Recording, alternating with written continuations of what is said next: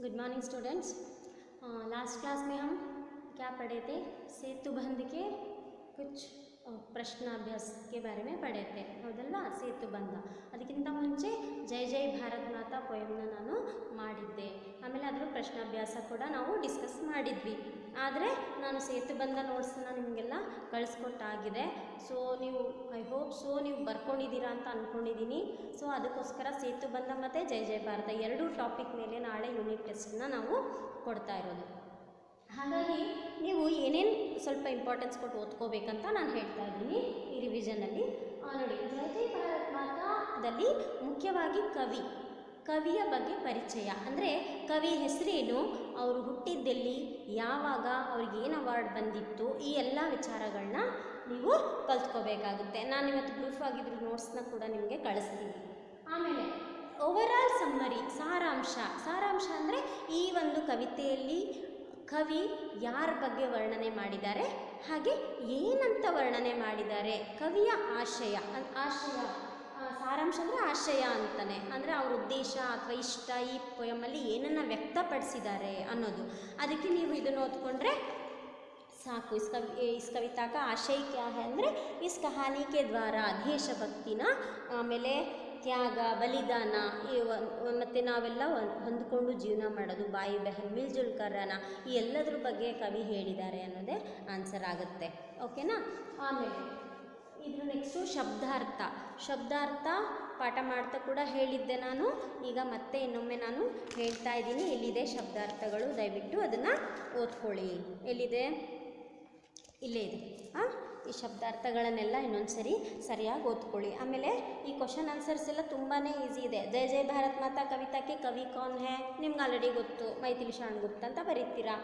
ಆಮೇಲೆ ಅವ್ರು ಎಲ್ಲಿ ಹುಟ್ಟಿದ್ದು, ಯಾವಾಗ ಹುಟ್ಟಿದ್ದು ಅದೆಲ್ಲ ಇಲ್ಲಿದೆ. ಇದು ಸಿಗುತ್ತೆ. ಆಮೇಲೆ ಗುಪ್ತ ಜಿ ಕಾ ಕೌನ್ಸಿ ಉಪಾಧಿ ಅವ್ರಿಗೆ ಯಾವ ಅವಾರ್ಡ್ ಸಿಕ್ಕಿತ್ತು? ಸೊ ಇಲ್ಲೇ ಇದೆ. ಆಯಿತಾ? ಆಮೇಲೆ ಪದ್ಮಭೂಷಣ್ ಸಿಕ್ಕಿತ್ತೆ ಆಮೇಲೆ ಕವಿ ಕಿಸ್ ದೇವಿ ಖಿ ವಂದನ, ಭಾರತ್ ಮಾತೆ ವಂದನ, ಇದೆಲ್ಲ ನಾನು ನಿಮ್ಗೆ ಆಲ್ರೆಡಿ ಹೇಳಾಗಿದೆ. ಹಿಮಾಲಯಿ ರೂಪಿ ಹೃದಯ ಮೇ ಕ್ಯಾ ಬರಾಹೆ ದಯಾ, ಪ್ರೇಮ, ಕರುಣೆ ಎಲ್ಲ ಇದೆ, ಹೌದಾ? ಪಾನಿ ಕೆಸೆ ಫುಟ ಆತಾ ಹೇ? ಸೊ ಇದೆಲ್ಲ ನಾನು ಲಾಸ್ಟ್ ಕ್ಲಾಸಲ್ಲಿ ಎಕ್ಸ್ಪ್ಲೇನ್ ಮಾಡಿದ್ದೀನಿ ತಿರ್ಗಾ ನಾನೇನು ಮಾಡಲ್ಲ ಬಟ್ ನೋಟ್ಸ್ ಕೊಡೋಕ್ಕಿದೆ. ನೋಟ್ಸ್ ಕೊಡ್ತೀನಿ. ಬರೀತೀರಲ್ವಾ? ಆಮೇಲೆ ಇದು ಅನುರೂಪತ ಅಂತ ಹೇಳಿಬಿಟ್ಟು ಇಲ್ಲಿ ನೋಡಿ ಅನುರೂಪತ. ಅನುರೂಪತ ಅಂದರೆ ಇದೇನೆ ಇದು ಗ್ರಾಮರಲ್ಲಿ ಕೂಡ ಇದೆ. ಅನುರೂಪತ ಅಂದರೆ ಒಂದು ವರ್ಡ್ ಕೊಟ್ಟು ಅದಕ್ಕೆ ಏನು ಅನ್ನೋದು ಅವ್ರು ಕೊಟ್ಟಿರ್ತಾರೆ. ಅದೇ ಥರ ಇನ್ನೊಂದು ವರ್ಡ್ ಕೊಟ್ಟಾಗ ಅದೇನಾಗುತ್ತೆ ಅನ್ನೋದನ್ನು ನಾವು ಬರಿಬೇಕಾಗತ್ತೆ. ಫಾರ್ ಎಕ್ಸಾಂಪಲ್ ಇಲ್ಲಿ ಸಾಗರ್ ತುಂಬ ದೊಡ್ಡದಾಗಿದೆ. ದೊಡ್ಡದಾಗಿದೆ ಅಂದರೆ ಹಿಮಾಲಯ ಹಿಮಾಲಯ ತುಂಬ ಎತ್ತರವಾಗಿದೆ ಅಂತ ನಾವು ಬರಿತೀವಿ. ಅದು ಬೇಡಪ್ಪ. ಇವಾಗ ಫಾರ್ ಎಕ್ಸಾಂಪಲ್ ಹಿಮಾಲಯ ಬೆಟ್ಟ ಅಂತ ಕೊಟ್ವಿ. ಹಿಮಾಲಯ ಅನ್ನೋದು ಬೆಟ್ಟ ಗಂಗಾ ಅನ್ನೋದು ನದಿ ಅಂತ ಬರಿಬೇಕಾಗತ್ತೆ. ಓಕೆನಾ ಅಲ್ಲಿ ಏನಿರುತ್ತೆ ಅದಕ್ಕೆ ನಾವು ಮ್ಯಾಚ್ ಮಾಡಬೇಕು. ಆಮೇಲೆ ಇಲ್ಲಿ. ಆಮ್ ಅಂದರೆ ಮಾವಿನ ಹಣ್ಣು ಭೂಮಿ ಮೇಲಿದೆ ಅಂತಂದಾಗ ಕಮಲ ಲೋಟಸ್ಸು ನೀರಲ್ಲಿದೆ ಅಂತ ಬರೆದಿದ್ದಾರೆ. ಅದೇ ರೀತಿ ಬೇರೆ ಏನು ಬೇಕಾದ್ರೂ ಕ್ವಶನ್ ಬರ್ಬೋದು. ಇದೇ ಬರುತ್ತೆ ಅಂತ ನಾನು ಹೇಳೋದಿಲ್ಲ. ಓಕೆನಾ ಬೇರೆ ಏನಾದರೂ ಬರ್ಬೋದು. ಈಗ ಸೂರ್ಯ ಆಕಾಶದಲ್ಲಿದ್ದಾನೆ. ಮನೆ ಭೂಮಿ ಮೇಲಿದೆ. ಹೀಗೆ ಅಲ್ಲಿ ಕಾಂಬಿನೇಷನ್ನ ನೋಡಬೇಕು ಬರೆಯೋದಕ್ಕೆ. ಇದನ್ನು ಅನುರೂಪತ ಅಂತ ಕರೀತಾರೆ. ಇದು ಬರುತ್ತೆ. ಓದ್ಕೊಳ್ಳಿ ಚೆನ್ನಾಗಿ. ಆಮೇಲೆ ನೆಕ್ಸ್ಟು ಸೇತು ಬಂದು ನೋಡೋಣಂತೆ. ಸೇತು ಬಂದಲ್ಲಿ ನಾನು ಇದೆಲ್ಲ ನೋಟ್ಸ್ನ ಕಳಿಸಿದ್ದೆ ಅವತ್ತು, ಹೌದಾ? ಏನಪ್ಪ? ಇಲ್ಲಿ ನೋಡಿ ಸದೈವ ಏಕವಚನ ಮೇ ಪ್ರಯುಕ್ತ ಹೋನೆ ವಾಲೆ ಕೊಯ್ ಪಾಂಚ್ ಶಬ್ದ. ಫೈವ್ ಏಕವಚನ ವರ್ಡ್ಸ್ನ ಬರೆಯೋದಕ್ಕೆ ಕೇಳಿದ್ದಾರೆ.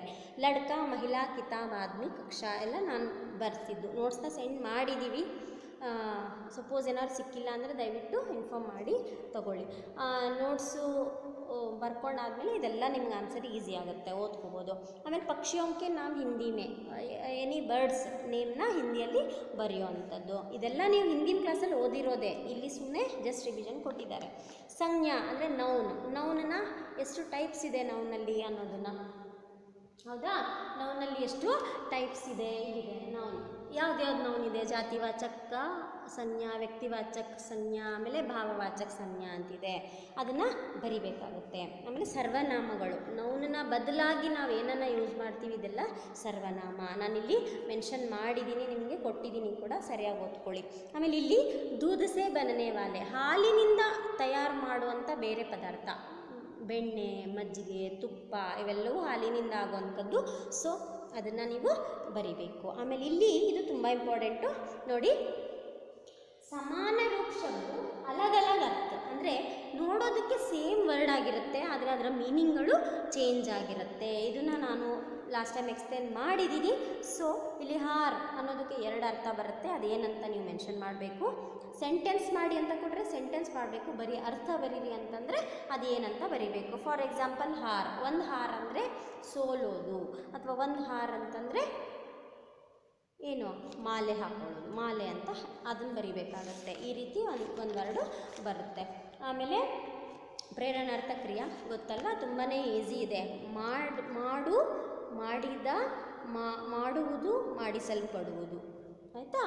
ಆಮೇಲೆ ಇಲ್ಲಿ ಸಮಾನಾರ್ಥಕ ಶಬ್ದ ಅಂದರೆ ಅಗ್ನಿ, ಅಂದರೆ ಬೆಂಕಿ, ಆಗು ಸೇಮ್ ಮೀನಿಂಗ್ ಬರುವಂಥ ವರ್ಡ್ಸ್ಗಳು ಉತ್ತರ, ಜವಾಬು, ಇದು ಕನಕು, ಅಂದರೆ ಗೋಲ್ಡ್ ಸ್ವರ್ಣ. ಸೇಮ್ ಎಲ್ಲದಕ್ಕೂ ಸೇಮ್ ಮೀನಿಂಗ್ ಬರುವಂಥ ವರ್ಡ್ ಇದನ್ನು ನಾನು ಕೊಟ್ಟಿದ್ದೀನಿ. ದಯವಿಟ್ಟು ಓದ್ಕೊಳ್ಳಿ. ವಿಡಿಯೋನ ರಿಪೀಟ್ ಮಾಡ್ಕೊಂಡು ನೋಡಿದ್ರೆ ಸಾಕು, ನಿಮಗೆ ಗೊತ್ತಾಗುತ್ತೆ. ಆಮೇಲೆ, ದಿನ್ ಅವ್ರ ನಾನ್ ಹಿಂದಿ ಮೇ ಲಿಖಿಯೇ. ಇದನ್ನು ನಾನು ಕಳಿಸಿದ್ದೀನಿ.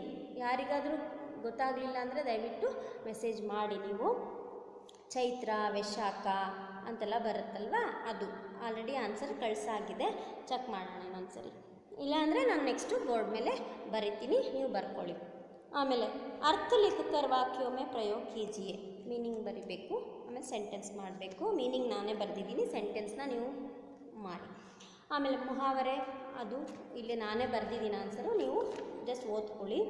ಆಮೇಲೆ ಇಲ್ಲಿ ಸ್ಪಷ್ಟ ಕಾರಣ ಬತಾತೆ ಹುಯೆ ಲೆಟರ್ ರೈಟಿಂಗು ನೀವೆಲ್ಲ ಸಿಕ್ಕಿದೆ ಅಂತ ಅಂದ್ಕೊಳ್ತೀನಿ ನೋಟ್ಸಲ್ಲಿ ಅನುವಾದ.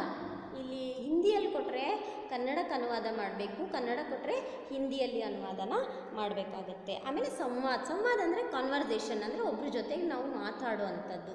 ಈಗ ಸಪೋಸ್ ನಾನು ನಿಮ್ಮ ಜೊತೆ ಮಾತಾಡ್ತಾ ಇದ್ದೀನಿ. ಯಾವ ಟಾಪಿಕ್ ಬಗ್ಗೆ ಮಾತಾಡ್ತಾ ಇದ್ದೀನಿ? ನಾವು ಸಬ್ಜೆಕ್ಟ್ ಬಗ್ಗೆ ಮಾತಾಡ್ತಾ ಇದ್ದೀವಿ. ಹೌದಲ್ವಾ? ಈಗ ಇಲ್ಲಿ ಇಬ್ಬರು ಯಾರು ಮಾತಾಡ್ತಿದ್ದಾರೆ ಅವ್ರ ನೇಮ್ನ ಬರ್ಕೊಂಡು ಅವ್ರು ಹೇಳೋ ಡೈಲಾಗ್ಸ್ನ ಬರಿಬೇಕು. ಈಗ ಡ್ರಾಮಾದಲ್ಲೆಲ್ಲ ಡೈಲಾಗ್ಸ್ ಬರೀತಾರೆ ಈ ಥರ. ಹಾಗೆ ಆ ಪಾತ್ರದವರು ಅದನ್ನು ಮಾತಾಡ್ತಿದ್ದಾರೆ ಅನ್ನೋ ಅರ್ಥ ಬರುತ್ತೆ. ಫಾರ್ ಎಕ್ಸಾಂಪಲ್ ಈಗ ಸ್ಟೂಡೆಂಟ್ ಮತ್ತು ಟೀಚರ್ ಮಾತಾಡ್ತಿದ್ದಾರೆ ಅಂದಾಗ ಟೀಚರ್ ಹೇಳೋ ಡೈಲಾಗಿಗೆ ಟೀಚರ್ ಅಂತ ಬರೆದು ಟೀಚರು ಟೀಚರ್ ಅಂತ ಬರೆದು, ನಾನು ಹೇಳಿದ ಹೋಮ್ವರ್ಕೆಲ್ಲ ಮಾಡಿದೆಯಾ? ಮತ್ತು ಸ್ಟೂಡೆಂಟ್ ಹಾಂ ಮ್ಯಾಮ್ ಮಾಡಿದ್ದೀನಿ. ಓಕೆ ತಗೊಂಡು ಬಾ. ಟೀಚರ್. ಮಗು. ಹಾಂ ಓಕೆ ಮೇಡಮ್ ನೋಡಿ, ಹೀಗೆ ಡೈಲಾಗ್ಸನ್ನು ಬರಿಬೇಕಾಗುತ್ತೆ. ಇದನ್ನು ಸಂವಾದ ಲೇಖನ್ ಅಂತ ನಾವು ಕರಿತೀವಿ. ಆಯಿತಾ? ಇಲ್ಲಿ ನಿಮ್ಗೆ ಇದನ್ನು ಹೋಮ್ವರ್ಕ್ ಮಾಡೋಕ್ಕೆ ಕೊಟ್ಟಿದ್ದೀನಿ. ಇಲ್ಲಿ ನಾನು ಸಂವಾದ ಹೇಳ್ಕೊಟ್ಟಿದ್ದೀನಿ ಬಟ್ ಇಲ್ಲಿ ಇರೋದು ವಿಹಿತ್ ಮತ್ತು ಆಕಾಶ್ ಅನ್ನೋರ್ದು ಹೋಮ್ವರ್ಕ್ನ ನೀವೇ ಕಾನ್ವರ್ಸೇಷನ್ ಮಾಡಿ ಅಂತ. ಟ್ರೈನಲ್ಲಿ ಅವರಿಬ್ಬರು ತಮ್ಮ ಫ್ಯಾಮಿಲಿ ಪರಿಚಯ ಮಾಡ್ಕೊಳ್ತಾರಲ್ಲ, ಅದ್ರ ಬಗ್ಗೆ ಮಾಡೋದಕ್ಕಂತ ಕೊಟ್ಟಿದ್ದೀನಿ. ಇದನ್ನು ನೀವೇ ಮಾಡಬೇಕು. ಆಯಿತಾ? ನಾಳೆ ಟೆಸ್ಟಿಗೆ ಇದಿಷ್ಟೂ ಇಂಪಾರ್ಟೆಂಟ್ ಇದೆ. ಜೈ ಜೈ ಭಾರತ್ ಮಾತಾ ಮತ್ತು ಸೇತು ಬಂದಲ್ಲಿರುವಂಥ ಎಲ್ಲ ಕ್ವಶನ್ ಆನ್ಸರ್ಸ್ಗಳು ಆಯಿತಾ? ಇದನ್ನು ಓದ್ಕೊಳ್ಳಿ. ಆಮೇಲೆ ಪೊಯಮ್ನ ಇನ್ನೊಂದು ಸರಿ ಕ್ಲೀನಾಗಿ ಓದ್ಕೋಬೇಕು. ಇದರಲ್ಲಿ ಏನಾದರೂ ಡೌಟ್ಸ್ ಇದ್ದರೆ ನೀವು ಕೇಳ್ಬೋದು. ಇದು ಇದ್ರ ನೋಟ್ಸ್ನ ಇವತ್ತು ಸೆಂಡ್ ಮಾಡ್ತೀನಿ. ಓಕೆನಾ ಹ್ಞೂ okay thank you so much